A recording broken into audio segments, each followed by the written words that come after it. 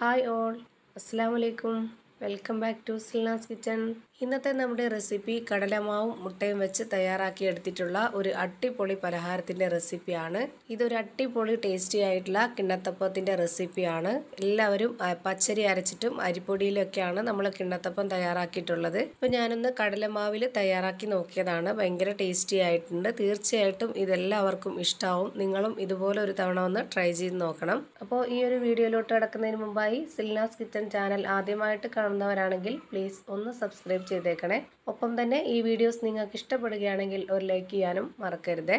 ഇനി നമുക്ക് റെസിപ്പിയിലോട്ട് എടുക്കാം. അപ്പോൾ അതിനായിട്ട് ആദ്യം തന്നെ ഞാനിവിടെ ഒരു മിക്സഡ് ജാർ എടുത്തിട്ടുണ്ട്. ഇതിലേക്ക് ഒരു ഇരുന്നൂറ്റി അമ്പത് എം എൽ കപ്പിന്റെ അളവിൽ ഒരു കപ്പ് പശുവിൻ പാലാണ് എടുത്തിട്ടുള്ളത്. ആദ്യമേ തന്നെ ഇത് മുഴുവനായിട്ടും ഇതിലേക്ക് ഒഴിച്ചു കൊടുക്കാം.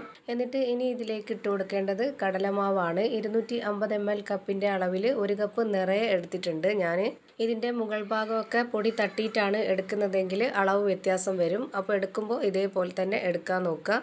അതുപോലെ തന്നെ ഈ കടലമാവ് അരിക്കേണ്ടതില്ല. നമ്മൾ മിക്സിയിൽ അരച്ചെടുക്കുന്നത് കൊണ്ട് തന്നെ ഇത് അരിക്കാതെ തന്നെ ഇതിലേക്ക് ഇട്ട് കൊടുക്കാം.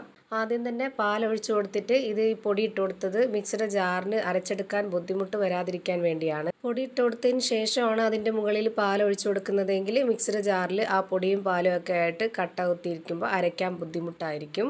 ഇനിയിപ്പോൾ അടുത്തതായി ഇതിന് മുകളിലേക്ക് ഒരു കപ്പ് പാലും കൂടെ ഒഴിച്ചു കൊടുക്കാം. ഇരുന്നൂറ്റി അമ്പത് എം എൽ കപ്പിന്റെ അളവിൽ ഒരു കപ്പ് പാലും കൂടി ഇതിലേക്ക് ഒഴിച്ചു കൊടുത്തിട്ടുണ്ട്. ഇനി അടുത്തതായി ഇതിലേക്ക് രണ്ട് കോഴിമുട്ട പൊട്ടിച്ചൊഴിച്ചു കൊടുക്കാം. അപ്പോൾ ഞാനിപ്പോൾ ഈ ഒരു ജാറിലേക്ക് ഇട്ട് കൊടുത്തിട്ടുള്ളത് നമ്മളെ ഒരു കപ്പ് കടലമാവിന് രണ്ട് കപ്പ് പാലായിട്ടാണ്. അതാണ് നമ്മുടെ കറക്റ്റ് ഒരു അളവ് ഇനിയിപ്പോൾ ഒരു സ്പൂൺ എടുത്തിട്ട് ഇത് നന്നായിട്ടൊന്ന് ഇളക്കി കൊടുക്കുന്നുണ്ട്. ഇതുപോലെ നന്നായിട്ടൊന്ന് ഇളക്കി യോജിപ്പിച്ച് കൊടുക്കാതെ നമ്മൾ നേരെ തന്നെ ഈ ഒരു മിക്സിയുടെ ജാറ് അടച്ചു കൊടുത്തതിന് ശേഷം ഓണാക്കി കൊടുക്കുമ്പോൾ പെട്ടെന്ന് തന്നെ അത് പൊങ്ങി പോകാനൊക്കെ സാധ്യതയുണ്ട്. അപ്പോൾ ഇതുപോലെ നമുക്ക് നന്നായിട്ട് യോജിപ്പിച്ച് കൊടുത്തതിന് ശേഷം മാത്രം അടച്ചു വെച്ചിട്ട് അരച്ചെടുക്കുമ്പോൾ നല്ല എളുപ്പത്തിൽ അരഞ്ഞു കിട്ടും. ഇനി ഈ ഒരു പലഹാരത്തിന് നല്ലൊരു മണത്തിന് വേണ്ടി ഒരു മൂന്ന് ഏലക്ക ഇട്ട് കൊടുക്കാം. ഇനിയിപ്പോൾ ഇതിലേക്ക് ഞാൻ ഇട്ട് കൊടുക്കുന്നത് അരക്കപ്പ് അളവിലുള്ള പഞ്ചസാരയാണ്. ഇതിനൊരു മീഡിയം മധുരമാണ് കിട്ടിയിട്ടുള്ളത്. നിങ്ങൾക്ക് എത്രയാണോ താല്പര്യം മധുരം അതിനനുസരിച്ച് ഇട്ട് കൊടുക്കാം. ഇനി ഇതിന്റെ മധുരത്തിനൊന്ന് ബാലൻസ് ചെയ്യാനായിട്ട് ഒരു നുള്ള് ഉപ്പും കൂടെ ചേർത്ത് കൊടുക്കാം. ഇനി ഇത് നല്ലപോലെ ഒന്ന് അരച്ചെടുത്തതിന് ശേഷം ഇതൊന്ന് മാറ്റി വെച്ചേക്കാം. അടുത്തതായി ഞാനിത് സെറ്റാക്കി വേവിച്ചെടുക്കുന്നത് ഇതുപോലെ കേക്കിന്റെ മൗൾഡിലാണ്. നമുക്ക് ചോറ് കഴിക്കുന്ന പാത്രത്തിൽ തയ്യാറാക്കി എടുക്കാം. ഞാനിപ്പോൾ ഇതിലാണ് തയ്യാറാക്കി എടുക്കുന്നത്. അപ്പോൾ ഇതിലേക്ക് കുറച്ച് നെയ്യ് ഒഴിച്ചു കൊടുത്തതിന് ശേഷം ഇത് മൊത്തത്തിൽ എല്ലാ ഭാഗത്തുമായിട്ടൊന്ന് സ്പ്രെഡ് ചെയ്ത് കൊടുക്കുന്നുണ്ട്.